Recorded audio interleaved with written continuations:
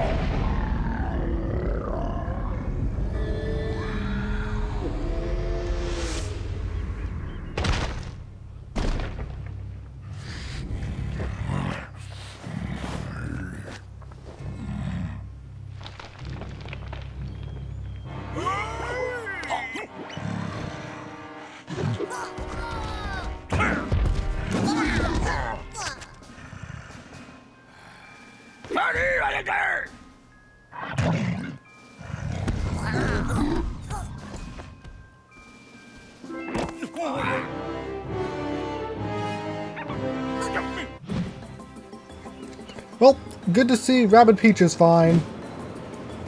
Mostly, she. I'm pretty sure she does take damage from that punch.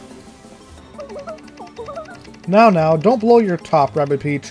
Rabbid Kong will get what he has coming. Even though you're the one that pushed him off the building.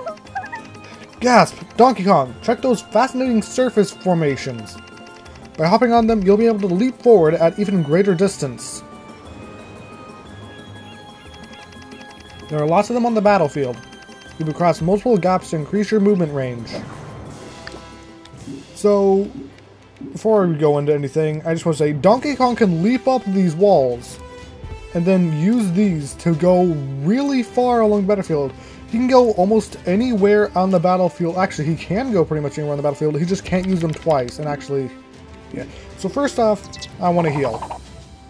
Rabbid Peach took quite the beating from that, and I am glad I increased my heal chance before that. We also have Smashers, and those are strong against Ziggy. So I want to take Rabbid Peach. And are there any, actually, let me just look around. Is there anywhere where there's not enemies? No, but I can probably take you down. Right, let's leave Rabbid Peach to do what she wants. And I'll take a box of vampire vampire stuff. Now, up here, like on certain tiles, some enemies can't reach you. This includes the these guys, the smashers. There's nowhere good for DK to go right now. Let's see what I can do with Rabbid Kong, I guess. Team jump is an option and it doesn't get close enough with this to hit you. DK's over here. Is he any better? No. And you can't go on those blocks either, unfortunately. Best place I have is here for you.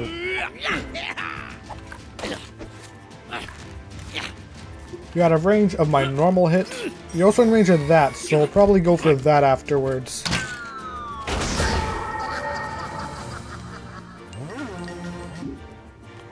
It is a simple hit-all effect, and Let's see, I can send Rabbid Peach over here. Hopefully she's out of range of those smashers. And I can deal with you. Pretty sure this does bonus damage as well. Critical hit, and that is good. Rabbid Kong has... No, DK has to move, not Rabbid Kong. And let's Hmm. Let's send DK over here and just finish you off. There probably is a faster way to do this, but it's fine. Also, these dandelions here to help DK move. Alternatively, I could have thrown Rabbid Kong over there or just put him to sleep. Anyway, I don't want to use that now. Drawing him in would also be a mistake. So, let's just go for the classic. No knockback, that's unfortunate. Let's use Hairy Eye and Rabbid Kong's version as well. Stink Eye. Rabbid Peach already used her healing, so nothing else we can do.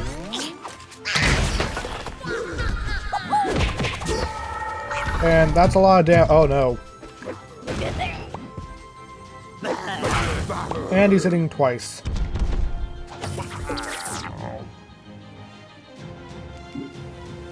Right then. First order of business. I just want to grab Rabbid Kong real quick. There's only these guys left. So I want to get into a situation where it's to my advantage to get my allies up in a place they physically can't reach us. Drag you over a little bit. And I'll do that soon. I have a reason for doing that, and I want to get Pete, drive Peach over here. Oh wait, does she have a weakness debuff? Uh, oh yeah, they have weaken. Just in case. And go. 13 damage, but it's fine.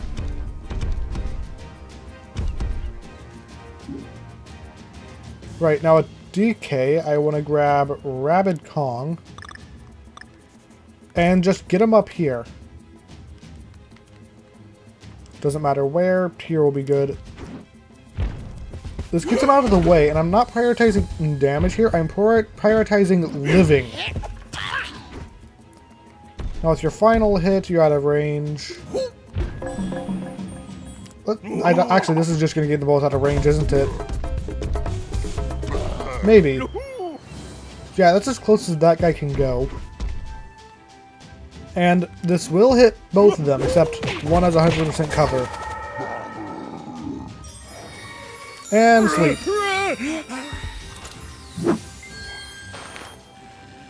They use their pillars as beds. That's cool. Let's go ahead and you're just out of range.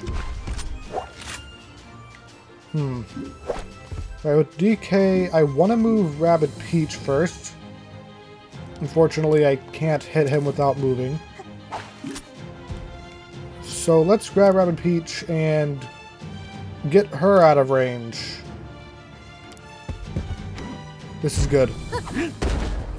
Now, you might have noticed there's nothing they can physically do to hurt us anymore. And that was the plan. We are invincible. The main weakness of melee enemies being out of reach. Anyway, I'll finish you off with this and then just send the sentry after them. There's a golden shot. And you could move, but why would I do that? Oh. All targets are out of sight. Yeah, I can. I'm pretty sure it's just that Rabbid Kong's blocking the way down. I could have moved him, actually. And he has three health. Yet he's preventing us from going down. And I can't move either. Yeah, weaken us, because that's going to do a lot. I'm just going to do this. Why even use an attack? Just use your movement. Also, this is the only time you get to see Rabbid Peach covered in sand. Say goodbye to her. They almost outstalled me. I forgot that there's a speed limit thing for perfect. It's just bananas, though.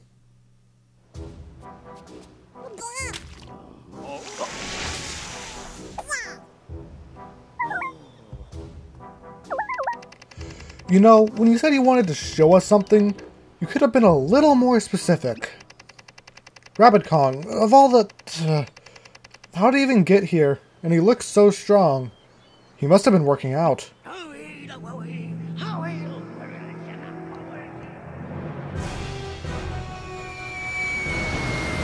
It's a flashback.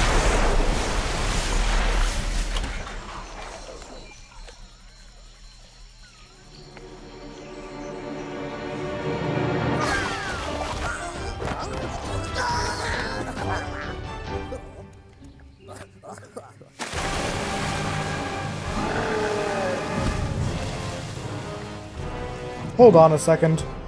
Why wasn't Rabbid Kong affected by the Mega... Oh wait, he's already been hit, affected by the Mega Bug. That would make sense.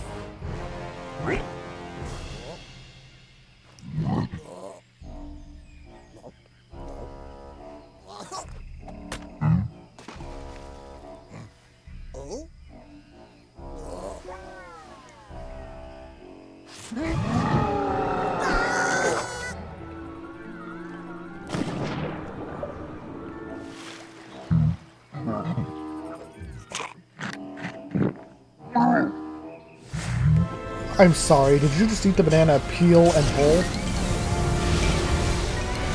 I guess peel and all?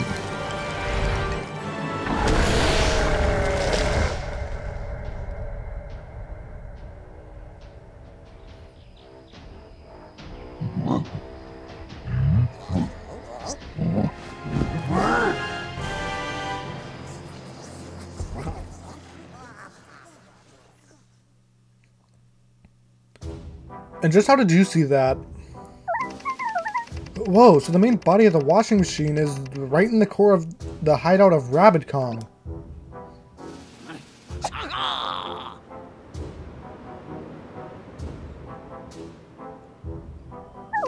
Oh, it's closer than I thought.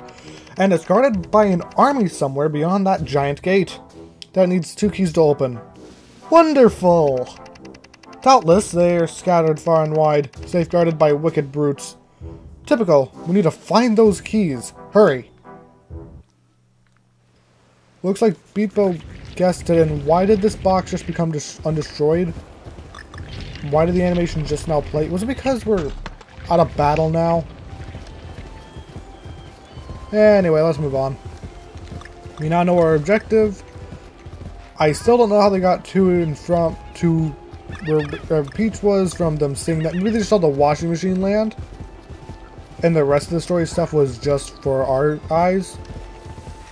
thought that plant was one of the mushrooms because it's blue. Anyway, plenty of bananas to grab. Go ahead and grab as many as you can because they're used for upgrades. And you're going to need them. There's less of them, but that doesn't matter too much. Thanks, box. Right, well, plenty of puzzles to go through now. Let's start. Looks like there's a red switch here that should be safe? Yes. That's unrelated to all the puzzles. No, it's not. There's a blue switch we can hit now. But first off, let's grab this thing. The Tropical Collector. I'm pretty sure there's only one type of collector, and that lit up one of those braziers over there. My objective, my guess is four treasures we need to collect, each one activating a brazier. There's a pipe go down there, I'll check that out in a sec. Anyway, that gives us access to another crate. And a warp pipe. I'm guessing that's not going to be as easy to get to, but what's down here first? Four bananas! Yay! That it? Just, just four bananas? Thanks for the secret. It may not be what I wanted, but it helps. Probably. Tropical Smasher. Anyway, chest number two down. I, there's just, there's always a reason to collect stuff as whenever you can. There's a bridge there I'm, that might get repaired as the story goes on. I don't know. It looks like there's something over there. The Rabbids left this pontoon bridge unfinished. We'll have to find another way. Guess it wasn't broken, it was just never fully built. More stuff over here. That. Oh, pushes that away so we can do stuff there. Got it. Yellow block there. We have to activate that first. Where is that? There it is. Before we go on, there are these two blocks here. I want to push you last. Well, I guess it doesn't matter that much. Anyway, I can go through here now. And with that, we can finally hit this yellow switch. Opening up that warp pipe there. I should have just gone down the jump pad. That would have been a lot faster. Hi, Crab. Anyway, through here, what do we got? Another warp pipe. Don't know why they didn't just connect these. Anyway, pushing that, you can go, it makes you go down there. And we saw what we need to do already, but first, six more bananas and no big banana. We hit the switch, pushes that, and now we can get it to the pink switch.